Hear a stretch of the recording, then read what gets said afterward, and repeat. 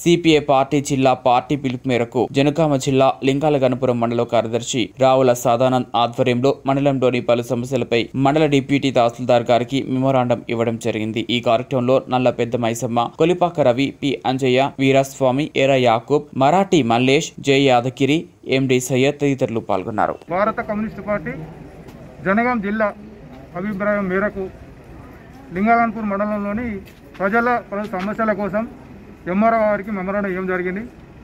అవి ఏ సమస్యలు అంటే దళితులకు తెలంగాణ ప్రభుత్వం రెండోసారి అధికారంలోకి వచ్చిన తర్వాత కూడా రైతులకు పూర్తిగా రుణమాఫీ చేయలేదు. ఒకేసారి రుణమాఫీ. యాభై వేలు యాభై వేలు చేయడం ద్వారా రైతుల రుణాలు తీయడం లేదు. కాబట్టి మా డిమాండ్ ఏంటంటే రైతులు ఒకేసారి రుణమాఫీ చేయాలి. అలాగే రెండు మూడు సంవత్సరాల నుంచి కొత్త పెన్షన్లు ఇవ్వటం లేదు. వృద్ధులకు కూడా కొత్త పెన్షన్లు ఇవ్వాలి.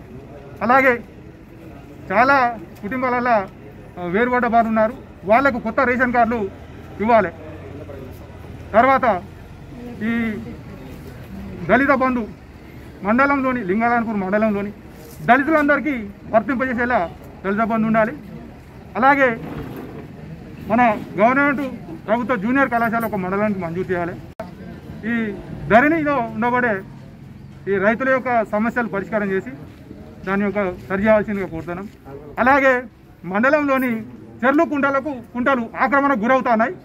వాటిని కూడా అధికార ప్రభుత్వం పట్టించుకొని వీటిని కాపాడాల్సిందిగా కోరుతా ఉన్నాం. ఇవి మా యొక్క డిమాండ్ భారత కమ్యూనిస్ట్ పార్టీగా. దీన్ని ఎంఆర్ఓ గారికి డిమాండ్ మెమోరాండం ఇవ్వడం జరుగుతుంది ధరణి సమస్యలు అలాగే ధరణి సమస్యలు వాళ్ళ సమస్యలు ఉన్నాయి. ఆ సమస్యల పైన మేము ఎంఆర్ఓ గారికి మెమోరాండం సిపిఐ సిపిఐ జిందాబాద్ సిపిఐ రైతులకు ఒకేసారి రుణమాఫీని అర్హులైన అందరికీ రేషన్ కార్డులను ఇవ్వాలి అర్హులైన వారికి అందరికీ రేషన్ కార్డులను అర్హులైన వారందరికీ పెన్షన్లను అర్హులైన వారందరికీ పెన్షన్లను జిందాబాద్, జిందాబాద్. జిందాబాద్, జిందాబాద్. ఒకేసారి రైతులకు రుణమాఫీని ఒకేసారి రైతులకు రుణమాఫీని డబల్ బెడ్రూమ్లను పేదవారందరికీ. డబల్ బెడ్రూమ్ పేదవారందరికీ. రైతులకు రైతులకు ఒకేసారి పెన్షన్లు ఒకటి.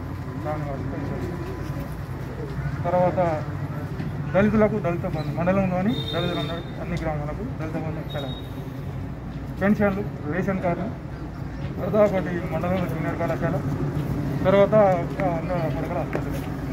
మేము ఈ ద్వారా ప్రభుత్వానికి రిక్వెస్ట్ చేస్తున్నాం. అన్ని లక్ష రూపాయలు సార్ అంటే ఇంతకు ముందుకు యాభై వేలు చేస్తాము. లక్ష రూపాయలు ఒకేసారి ప్రభుత్వము ఆ, అధికారంలోకి వచ్చి రెండోసారి అయింది కాబట్టి దాన్ని-